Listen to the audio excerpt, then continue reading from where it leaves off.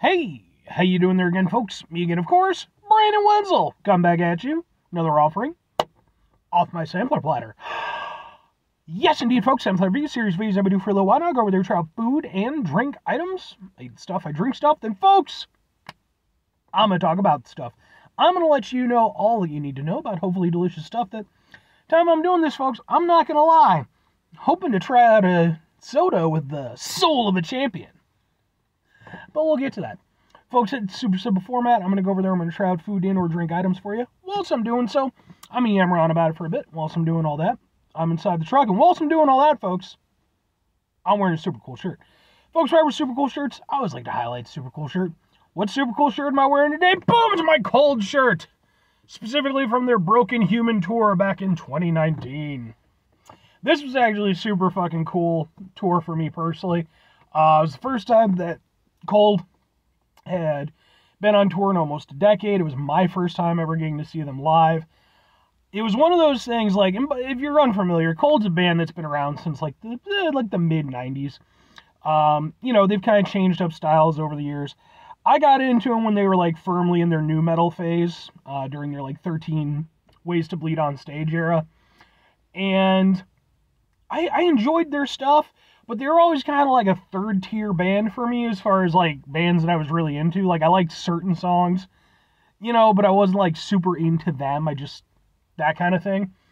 Uh, you know, but then when I saw okay, they're gonna be coming back around, you know, it's the first time they've been on a tour for a while. I was like, oh, okay, you know.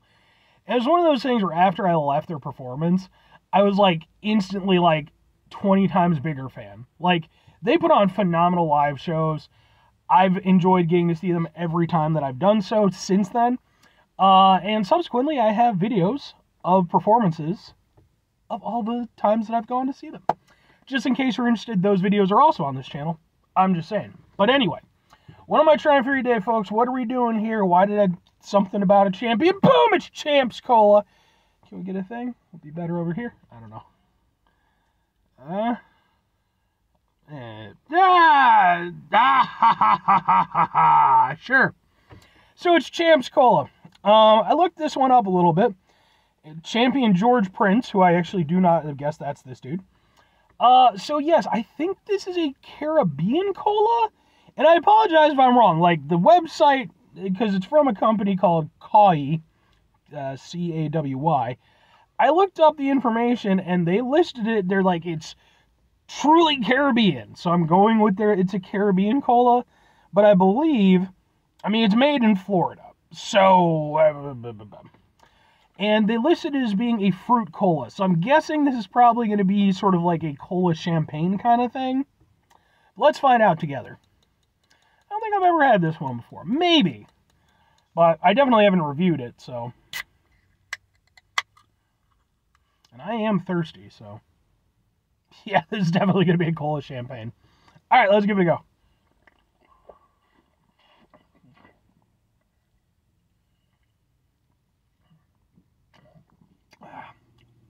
That's pretty good. That's pretty good. Um, I've reviewed a couple sort of cola champagne things. They tend to be emphasis on tend tend to be more sort of like a south of the border kind of thing from, you know, the United States, uh, you know, Mexico and uh, Peru and stuff like that tend to be big on the the cola champagnes. If you've never had like a cola champagne, it's I mean, like they you know like the Kui or whatever the hell it was, Kai, like they stayed on their website.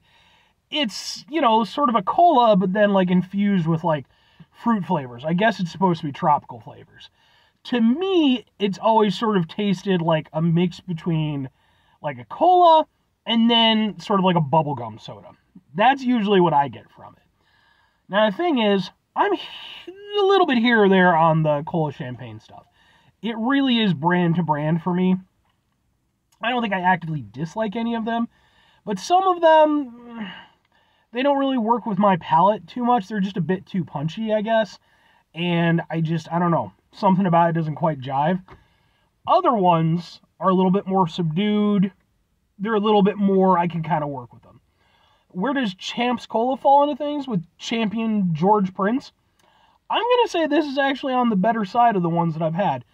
Uh, this one actually has a little bit more of a cola flavor than the sort of bubblegum fruity flavor that I'm used to from the, the cola champagnes.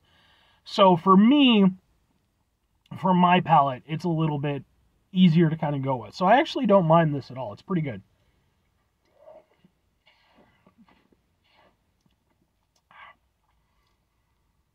Like it doesn't because like I said, it's it's the ones where like that sort of fruity bubblegum flavor, like when it's just too punchy, it almost becomes like obnoxious, you know, it's like overly sweet. With this one, still has a little bit of that cola flavor. And then, you know, yeah, it does have that bubblegum kind of fruitiness to it. But yeah.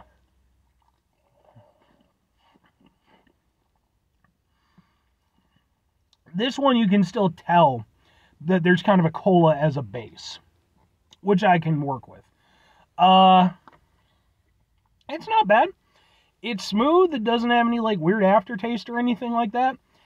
Again, it does have the very sort of bubblegummy taste to it. Um that could be yay or nay for you. For me personally, it's I'll occasionally drink a bubblegum soda, but it's not a go-to for me.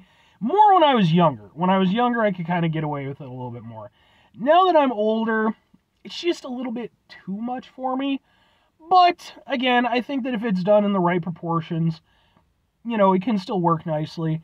And uh, like a, a, good example would be uh, there's a soda out of Texas called Big Red, and that has kind of a bubblegum sort of taste to it too, albeit different than like the cola champagne stuff. Uh, excuse me.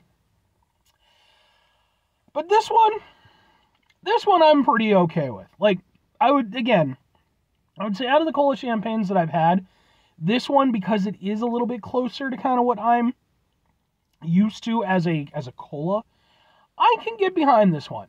I actually think this one is pretty solid. And while that might not be an outright ringing endorsement, it doesn't, you know, I mean, two two questions have to be asked. Would I get it again? would I recommend it? Um, every so often, and sure, with a little bit of an asterisk. So for me personally, it's not a usual thing that I go in for a cola champagne.